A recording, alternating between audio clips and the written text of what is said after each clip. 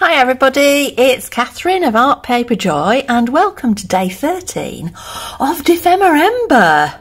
Do you think I might be getting the hang of this by day 13? I'm not convinced, but I have done some preparation. So I've got my journal page ready and I've been looking at some other channels who are doing this challenge and I've decided that my pages haven't got enough background on. So I've added some stencil background to this page and I'm trying to veer away from the browns in everything. So I've got some turquoise and green and a little bit of purple in this one. I don't know what I'm going to do on this page, but it's just going to be a single page, I think, this design. The prompts today are acetate and banner. I'm not taking things quite so literally anymore. So for acetate, I'm thinking vellum. This is some vellum that I have had, well, I've had it for 10 years. It was in my mum's stash again. And it's really quite thick and nice, this vellum. Vellum is paper that's been really, really highly pressed and polished. So it's almost transparent. It's not. It's sort of translucent but I'm counting this as acetate. It's very difficult to work with because if you put any water or wet glue on here, it recoils and shrivels up. I've done stamps on here. I've done two stamps so far and I'll show you the stamps that I'm using. It's a set that I got from the charity shop. Um, it's the Stained Glass Collection by Kate Knight and there are four different designs and they're all lovely. Um, and it's still in its original packaging. It says 2016 so it might still be available and I just mounted it onto my acrylic block and used my StazOn permanent black ink. The prints came out really well, but I wanted to colour them in, and that's always tricky with vellum. So I did a trial, and I thought I can always stamp them again, it's not the end of the world. And I've been using my oh oh hoo hoo, I never know how to say that, Aqua Natural Brush Pens. And I probably got these about three years ago, so I don't know if they're still available. I got them from Amazon, but um, and they're little watercolour brush pens. They come in about 30 colours and I've had a lot of fun with them. When I first got them, I was using them in those colouring book type things, you know, the really intricate ones. But they're useful for all sorts of things. And just by playing around, I've discovered that if you are very careful and you don't put too much on, you can colour in vellum. So I've just been doing these little sort of adding bits of colour so that I get this stained glass window effect without getting the vellum to wrinkle and bubble up and go berserk.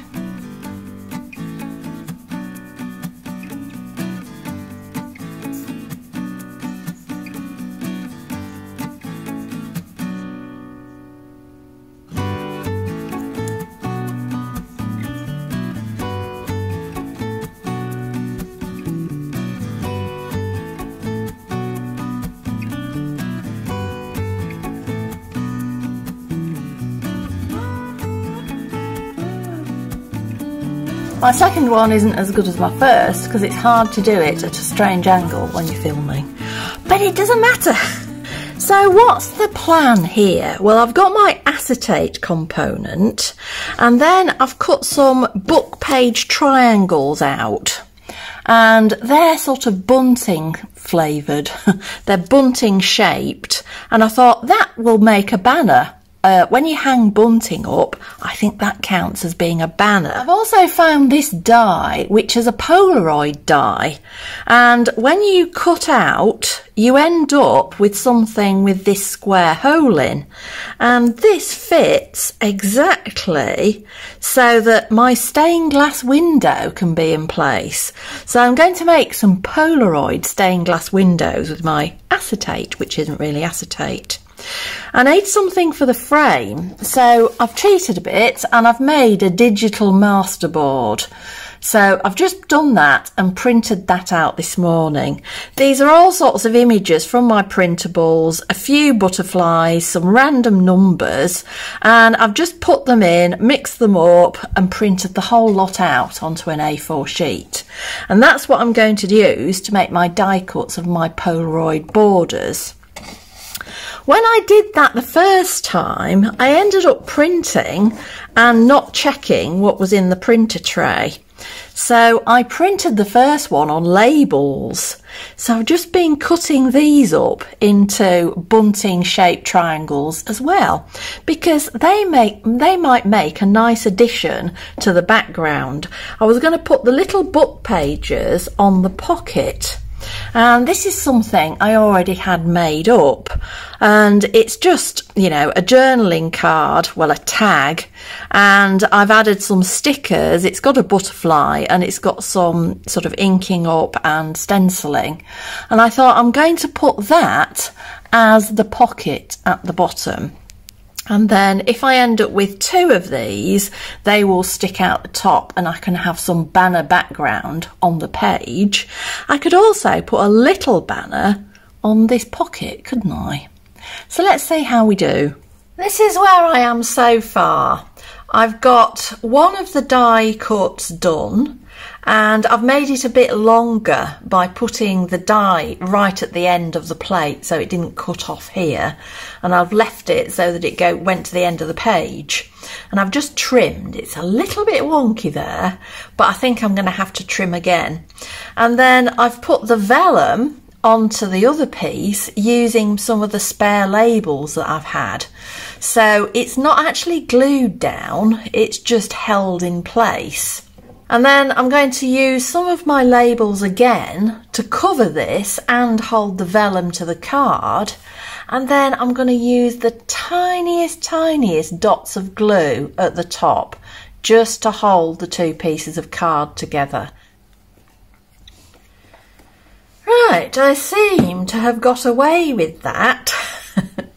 but I realise that the good side here is the wrong side here. And the right side here, the good side here, is the wrong side here. I don't know if it really matters. But I was just thinking, as I've saved this, I might just cut this out and stick it on there. And yes, I could make that into a pocket, but anything in the pocket will cover that up. So I'm just going to glue it all down and that will strengthen the whole thing.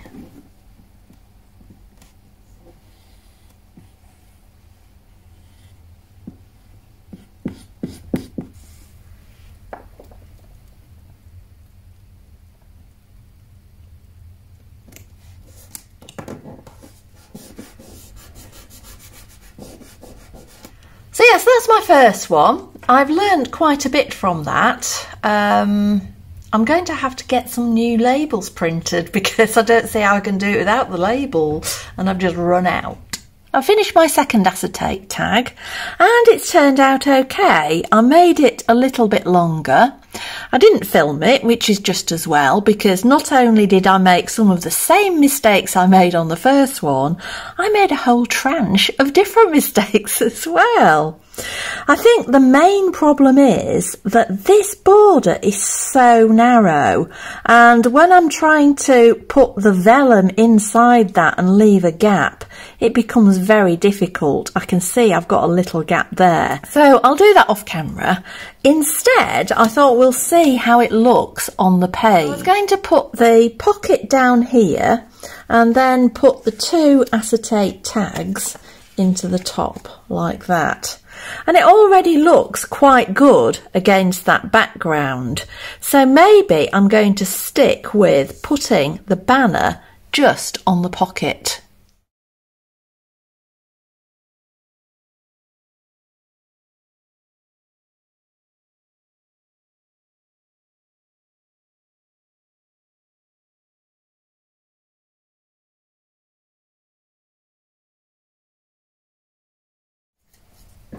I'm just going to leave them as they are because that's just a nice contrast and I didn't even ink them up.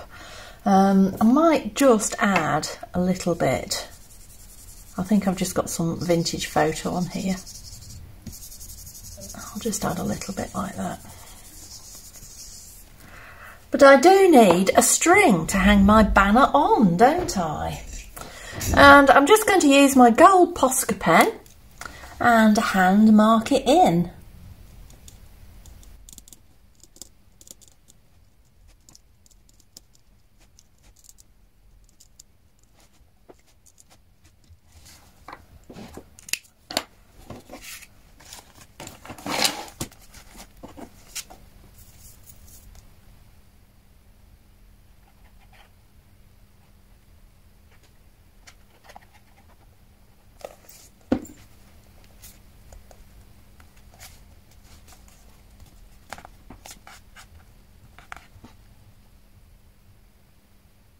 I want that to stick down really well. So I'm just going to clip it together until it dries completely.